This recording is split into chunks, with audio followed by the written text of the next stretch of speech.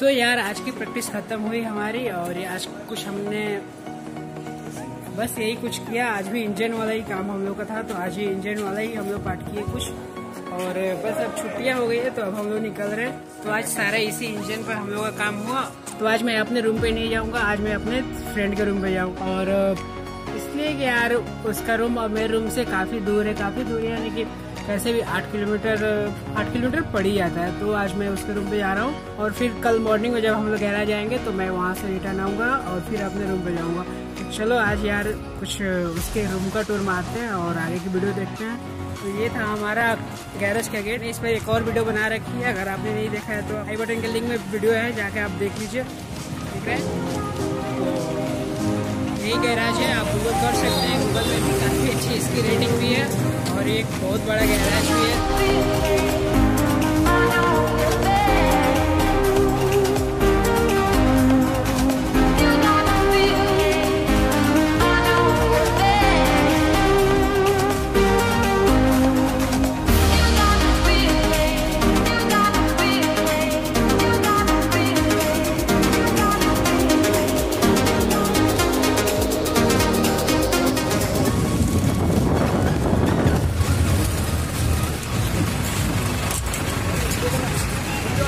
यार अभी बस से उतरने के बाद हम लोग जा रहे हैं पैदल ही और पास में ही है तो थोड़ा पैरों को भी चला लेते हैं।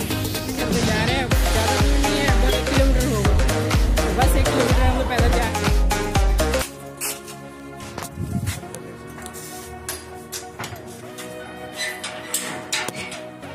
So hi guys good morning everyone फिर से वापस वहीं पर ट्रेनिंग के लिए जा रहे हैं। सो कल मैं जब आया था यहाँ पर तो मैंने बताया था आपको कि सरूम टूर कराऊँगा आप लोगों को तो चलिए करा देता हूँ। उससे पहले यार मैं कुछ खा लेता हूँ। सो so, बात ऐसी है बिल्कुल घर जैसी है। सुबह सुबह का टाइम है और हम लोग रेडी हो गए हैं और फिर से हमें वापस वहीं पर जाना है यानी कि ट्रेनिंग सेंटर जहाँ पर हम लोग जिस काम के लिए आए हैं यहाँ पर वही बस डेली का रूटीन बन गया यार। दस बजे निकल जाओ और फिर शाम को चार बजे रिटर्न डेली का कुछ दिन ऐसे एक महीने चलने वाला है तो यार चलो चलते हैं और क्या। इससे पहले मुझे कुछ भूख लगी है, कुछ क्या भाई, भूख लगी है तो मैं कुछ खा ले सो गाइस यहाँ पर तो कुछ है नहीं, लेकिन दिपेश भी है तो अकेले ही रहता है तो कौन बनाने जाएगा और कौन खाने जाएगा? खाने तो सभी जाएँगे, पर बनाने कोई नहीं जाएगा। इसलिए हम लोग रात को ही ब्रेड लाए थे, और रात को भी हम लोग एक ब्रेड ही खाए थे तो और एक एक ब्रेड हम लोग रख दिए थे कि सुबह में खाएँगे तो बस अभी क्वेश्चन सो यार, यहाँ पे कुछ ज़्यादा खाने को मिल नहीं रहा है तो बस बड़े पाव से ही काम चल रहा है। और हम लोग अभी दिन है तो गुजारना ही पड़ेगा कैसे भी। तो बस पाव रोटी मिले, कुछ भी मिले, खा के पेट भर लो और हम लोग यार, इतने छोटे पेट वाले, इतने छोटे पेट वाले आदमी हैं यार। तो जो भी मिलता है, बस खा लेते हैं। बड़े बड़े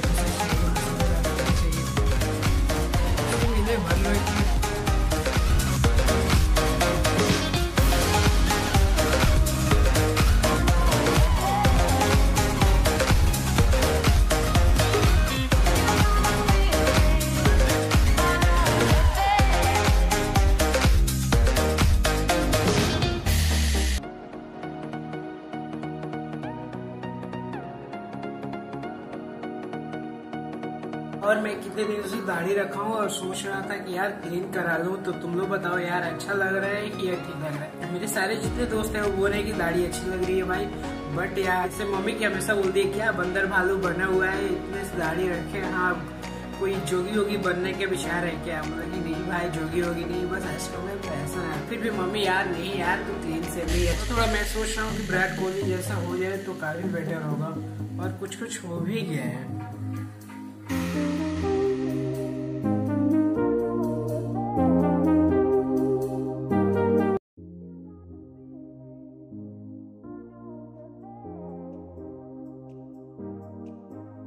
सो so, यार यही है वो रूम जहाँ पे मैं अपने फ्रेंड के रूम पे आया हूँ। तो पूरा उसका ही रूम है आजकल और वो भी यार अकेले रहता है यहाँ पे पूरा ऊपर से नीचे तक में दो तल्ले हैं। यार काफ़ी डर लगता है और यहाँ पे बहुत सुनसान एरिया भी है।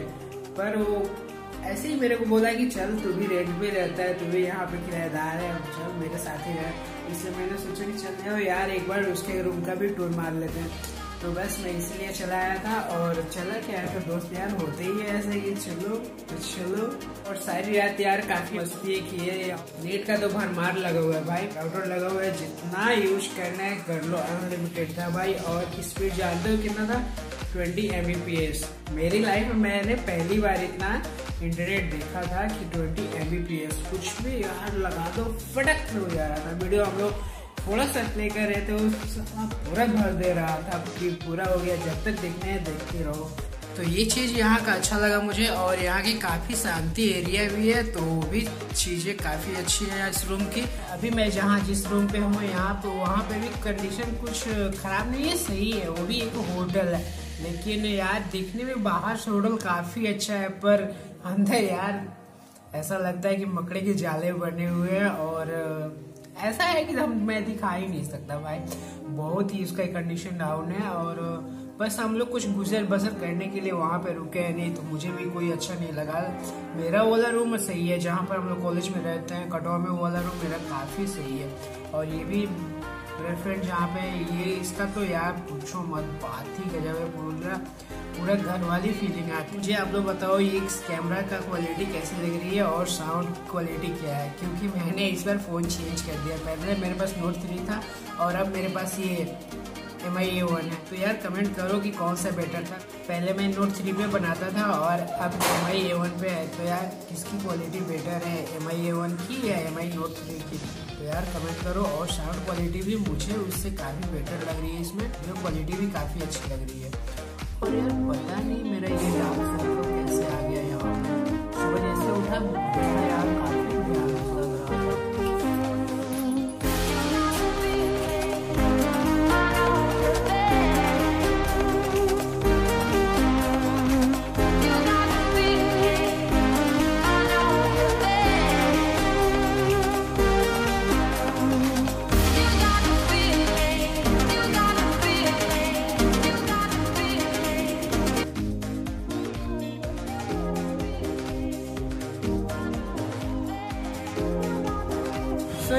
बाय बाय तो हम लोग भी जा रहे हैं फिर से रिटर्न वहीं पे गैराज में, यानी कि ट्रेनिंग के लिए फिर से वापस हम लोग वहीं पे जा रहे हैं। आई बटन के लिंक में है, बहुत सारी वीडियो है जो कि आप देख सकते हैं, और ब्लॉगिंग की वीडियो है, और भी बहुत सारी वीडियो है। और मेरे चैनल पर फ़ोटो एडिटिंग की वीडियो ज़्यादा मिलती है तो अगर आप फ़ोटो एडिटिंग में इंटरेस्टेड है तो आप मेरे चैनल को सब्सक्राइब कर सकते हैं चेकआउट कर सकते हैं।